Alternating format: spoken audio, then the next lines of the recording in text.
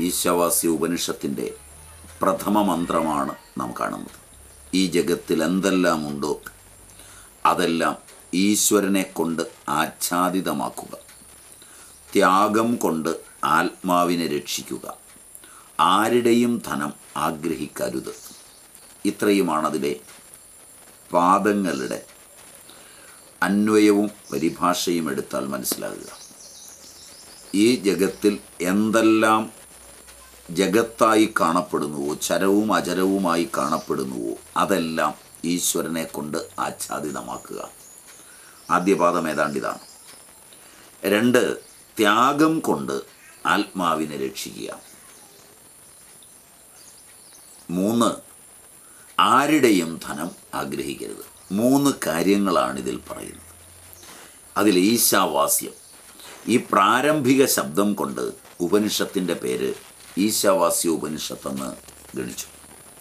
ഇതിന്റെ മുഖ്യ അർത്ഥം പ്രഥമ ശബ്ദത്തിൽ ഉക്തമായ തത്വം തന്നെ.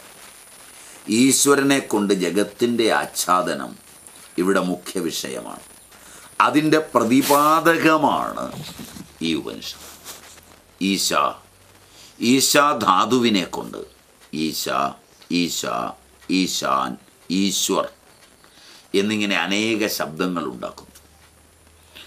എല്ലാത്തിനും അർത്ഥം സമാനമാണ്. ഈശ്വരൻ എന്നതിന്റെ സാമാന്യ അർത്ഥം കർത്തും അകർത്തും അന്യതാ കർത്തും ച സമർത്ഥ. കർത്തും അകർത്തും അന്യഥാ കർത്തും ച സമർത്ഥ ഈശ. ജഗത്തിന്റെ സൃഷ്ടിസ്ഥിതി ലയങ്ങൾക്ക് ഉണ്ടാക്കുവാൻ കർത്തും ഉണ്ടാക്കാതിരിക്കുവാൻ ഉണ്ടാക്കി വേറൊരു രൂപത്തിലാക്കുവാൻ ഒക്കെ സമർത്ഥമായ ഏതൊരു തത്വമാണോ ഏതൊരു അറിവാണോ ആ അറിവിനെ ആ തത്വത്തെ ഈശ്വരൻ എന്ന് നിർവചിക്കുന്നു. പ്രപഞ്ചത്തിൽ എന്തെല്ലാം ഉളവാകുന്നു കർത്തും എന്തെല്ലാം ഉളവായത് ലയിക്കുകയും ഉളവാകാതിരിക്കുകയും ചെയ്യുന്നു.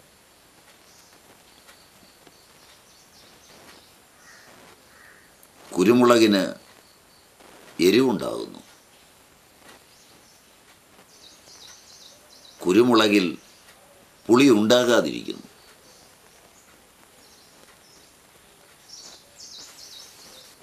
ഉണ്ടാകാതിരിക്കുന്നതും ഉണ്ടാക്കുന്നതും കർത്തും അകർത്തും. അന്യഥാകർത്തും ഇനി വേറൊരു വഴിയിൽ അതിനെ കൈപ്പുള്ളതാക്കി മാറ്റുന്നു. അന്യഥാകർത്തും ഇതെല്ലാം ഈ സാമർഥ്യമെല്ലാം ഏതൊരറിവിലിരിക്കുന്നുവോ ആ അറിവിനെയാണ് ഈശ്വരൻ എന്ന് വിളിക്കുന്നത്. ആ സാമർഥ്യത്തെ ആ സാമർഥ്യമാണ് ജഗത്തിന്റെ സൃഷ്ടി സ്ഥിതി ലയം അപ്പോൾ ജഗത്തിനെ സൃഷ്ടിക്കുക അതിനെ നിലനിർത്തുക അതിനെ തന്നിൽ ലയിപ്പിക്കുക. ഇതിന് സമർത്ഥൻ എന്നൊരർത്ഥം. ചെയ്യാതിരിക്കുന്നതിനും സമർത്ഥൻ. ഈ പൃഥ്വിയിൽ പ്രാണികളുടെ സൃഷ്ടിയെ ചെയ്തു. ചന്ദ്രലോകവും മറ്റും എടുത്താൽ അവിടെ സൃഷ്ടിയെ ചെയ്തില്ല. മനുഷ്യനിപ്പോൾ അങ്ങോട്ട് സൃഷ്ടി ചെയ്യാനായിട്ട് പോയിക്കൊണ്ടിരിക്കുകയാണ്. അത് ചെയ്യണമെന്ന് മനുഷ്യനിൽ സമഷ്ടിപൂർവകമായി തോന്നിപ്പിച്ചിട്ടാണ് എങ്കിൽ ആ തോന്നലിന് പിന്നിലും അതേ ചേതനൻ തന്നെയാണുള്ളത്. അപ്പോൾ ചന്ദ്രലോകത്തിലും മറ്റും ചെയ്തില്ല. അത് പലപ്പോഴും അന്യഥ ചെയ്യുന്നുമുണ്ട്.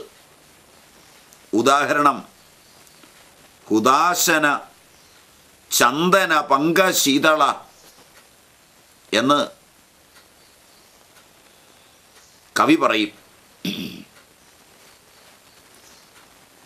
കവിയ കേളിയിൽ കവി ദൃഷ്ടാന്തം പറയുന്നത് ഹുദാശന ചന്ദന പങ്ക ശീതള ഒരു ബ്രാഹ്മണൻ അഗ്നികുണ്ഡത്തിൽ ഹവനം ചെയ്തുകൊണ്ടിരിക്കുന്നു. അദ്ദേഹത്തിന് പെട്ടെന്ന് ഹൃദ്രോഗമുണ്ടായി. ചിത്കാരത്തോടെ അദ്ദേഹം വീണു. ഭാര്യ അദ്ദേഹത്തിന്റെ തല മടിയിൽ വെച്ച് നിലവിളിക്കുന്നു. യജ്ഞവേദിക്കടുത്ത് വീണ ഭർത്താവിന്റെ തല മടിയിൽ വെച്ച് ഭാര്യ നിലവിളിക്കുന്നു. അദ്ദേഹം മെല്ലെ മെല്ലെ കണ്ണു തുറന്നു വരുന്നു. കഷ്ടിച്ച് ജീവൻ വരിക. നടക്കാൻ കഷ്ടിച്ച് പ്രായമായ കുഞ്ഞ് തീയാണെന്നറിയാതെ പോലെ ഓടി വന്ന് അഗ്നികുണ്ടത്തിൽ വീഴുന്നു. അഗ്നികുണ്ടത്തിനടുത്തെത്തി ഭർത്താവിനെ മടിയിൽ നിന്ന് ഇറക്കി വെച്ചാൽ ഒരു മരണം കാണണം. കുഞ്ഞിനെ ഓടിച്ചെന്ന് എടുത്തില്ലെങ്കിൽ കുണ്ടത്തിൽ കുഞ്ഞിന്റെ മരണം കാണണം. ആ സാധ്വി കണ്ണുപൊത്തി മുഖം പൊത്തി. ഒന്നേ വഴിയുള്ളൂ ആ മഹാസങ്കടത്തിൽ ഭഗവാനെ സ്മരിച്ചു. സുതം പദന്തം പ്രസമീക്ഷ്യ പാവകെ നബോധയാമസപതിം പതിവ്രത. തദാഭവത് തദ്ഭക് തത്പതിഭക്തിഗൗരവത് ഉദാശന ചന്ദനപങ്കശീതള. സുതംപദന്തം പ്രസമീക്ഷ്യ പാവകെ നബോധയാമസപതിം പതിവ്രത തദാഭവത് തത്പതിഭക്തിഗൗരവത് ഹുദാശന ചന്ദനപങ്കശീതള കുട്ടി കുണ്ടത്തിൽ വീണു. എന്നാൽ അവരുടെ പതിഭക്തിയും ഈശ്വരഭക്തിയും കൊണ്ട് അഗ്നിയെ ചന്ദന പങ്ക സമാനം ചെളിയുടെ തണുപ്പ്. പുള്ളിയാൽ പണ്ട് അമ്മമാർ ചെളി പൂശും. തീരത്തൊക്കെ താമസിക്കുന്നവർ തോട്ടിൽ ചെളിയുണ്ടാവും. നല്ല തണുപ്പ് അതിനുണ്ടാവും. അത് വാരി പൊത്തിയാൽ പൊള്ളാതിരിക്കും. ചന്ദനം വാരി പൂശും. ചന്ദനത്തിന്റെയും ഇന്ന് ചന്ദനം പുരട്ടരുത്. ഇന്ന് ചന്ദനം അരയ്ക്കുന്നത് സൾഫ്യൂരിക് ആസിഡ് ഒഴിച്ചാണ്. അമ്പലങ്ങളിൽ നിന്ന് വാങ്ങിക്കുന്ന ചന്ദനം ഭ്രൂമധ്യത്തിന് കുളിർമ തരുമെന്നും അത് ആനന്ദമുണ്ടാക്കുമെന്നും ഒക്കെ ഓർത്ത് വരി വാരിപ്പൂശരുത് കാരണം വലിയ കമ്പനികൾ ചന്ദനമുരയ്ക്കാനുള്ള യന്ത്രം വാങ്ങിച്ചിട്ടുണ്ട്. എന്തിനാണ് ചന്ദനമുരയ്ക്കുന്നതെന്നും എന്താണ് അതിന്റെ ഉപഭോഗമെന്നും ഒന്നും അറിയാത്ത സാങ്കേതിക വിദഗ്ധന്മാർ രൂപകൽപ്പന ചെയ്ത യന്ത്ര സംവിധാനങ്ങളിലേക്ക് ചന്ദനം പിടിപ്പിച്ച് ഹൈഡ്രോക്ലോറിക് ആസിഡും സൾഫ്യൂരിക് ആസിഡും ഒക്കെ അല്പം ഒഴിച്ചു കൊടുത്ത് അരച്ച് ഉണങ്ങിയിരിക്കുന്ന ചന്ദനം വീണ്ടും വെള്ളം ചേർക്കുമ്പോൾ അതിലെ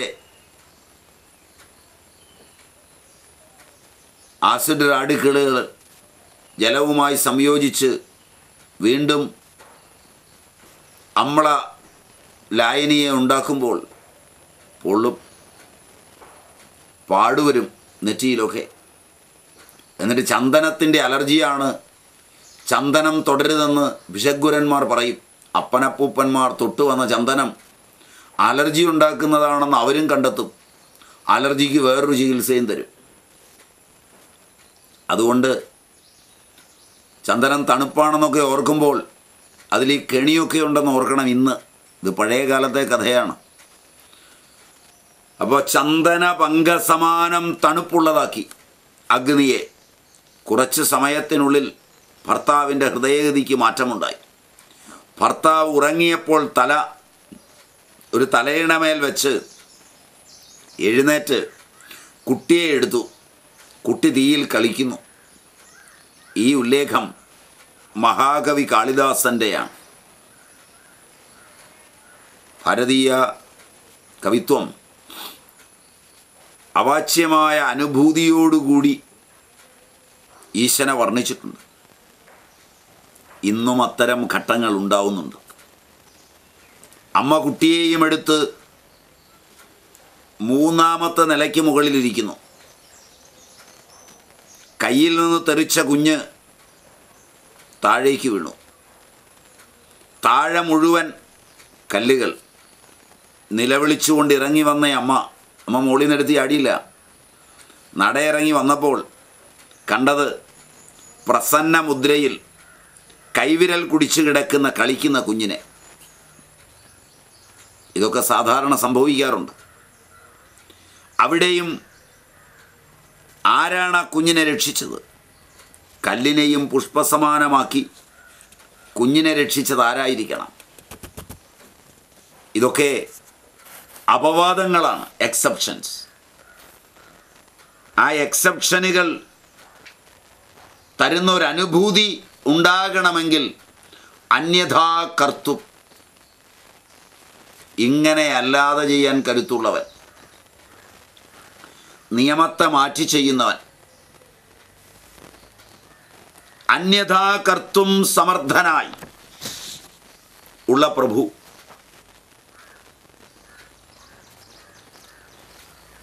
ഒരു ഗർഭിണിയെ പരിശോധിച്ചു. ഡോക്ടർമാർ പറഞ്ഞു കുഞ്ഞ് മരിച്ചു കിടക്കുക. മരിച്ച കുഞ്ഞിനെ നീക്കണം. അസ്വസ്ഥനായി ഭർത്താവ് ഉഴലുകയാണ്. അപ്പോഴാണ് ഈ കഥയൊന്നും അറിയാത്ത പെൺകുട്ടിയുടെ അച്ഛൻ പുറത്തുനിന്ന് തനിക്ക് ചെയ്യാവുന്ന ഒരേ ഒരു കാര്യം ആപതി കിംകരണീയം സ്മരണീയം ചരണയുഗളം അമ്പായാം എന്ന പ്രമാണത്തിൽ തന്റെ സങ്കല്പദേവതയെ പ്രാർത്ഥിക്കുന്നത്. ജനിക്കുന്ന കുഞ്ഞ് ഒരാൺകുട്ടിയാണെങ്കിൽ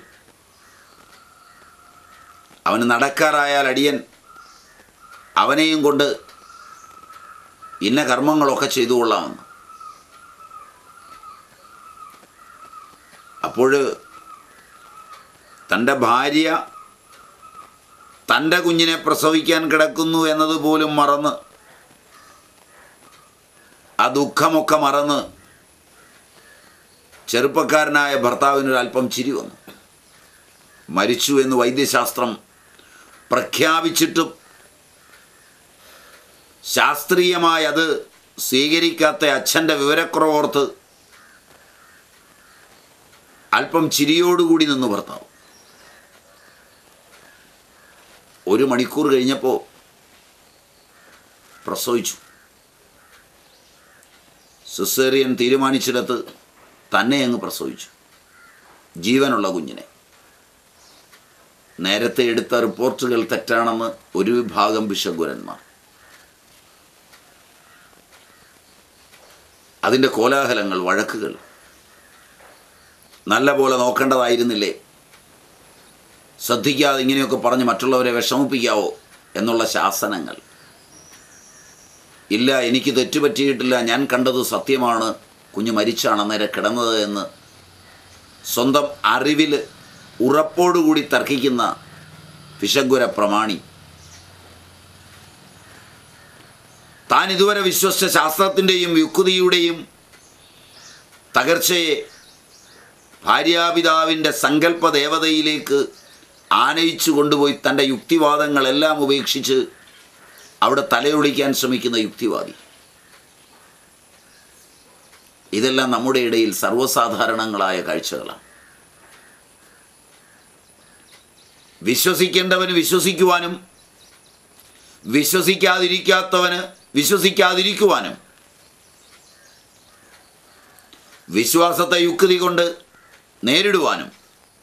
യുക്തിയെ വിശ്വാസം കൊണ്ട് തോൽപ്പിക്കുവാൻ കച്ചകെട്ടി ഇറങ്ങുവാനും ഒക്കെ പറ്റുമാറ് അന്യഥാ കർത്തും. കഴിയുന്ന അനേക കഥകൾ. എത്രയോ അപകടങ്ങളിൽ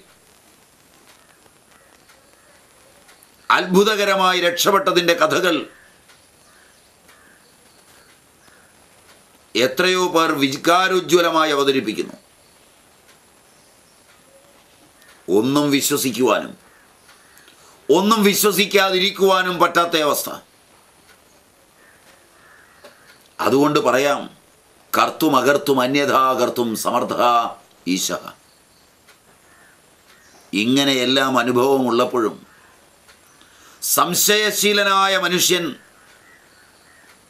അംഗീകരിക്കാറില്ല. വേദങ്ങളിൽ ഈശ്വര പരലോകാദി വർണനം ഒട്ടേറെയുണ്ട്. എന്നാൽ അതിനിടയിലാണ് ചർവാക ദർശനവും പ്രകടമാകുന്നത്. വൈദിക സംസ്കൃതി. ശ്രുതിയുടെ അന്തതലങ്ങളിൽ ഈശ്വരപര ലോകങ്ങളെ വിശദമായും വിപുലമായും വർണിച്ചിട്ടുണ്ട്. ദൈത്യന്മാരെ മോഹിപ്പിക്കുന്നതിന്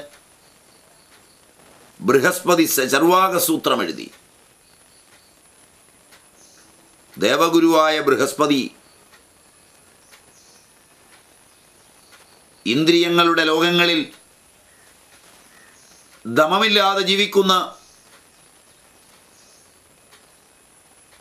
ദേവപ്രിയത്തിനായിക്കൊണ്ട് ദൈത്യരെ മോഹിപ്പിക്കുവാൻ രചിച്ചതാണ് ബാർഹസ്പതീയം ചർവാകസൂത്രം.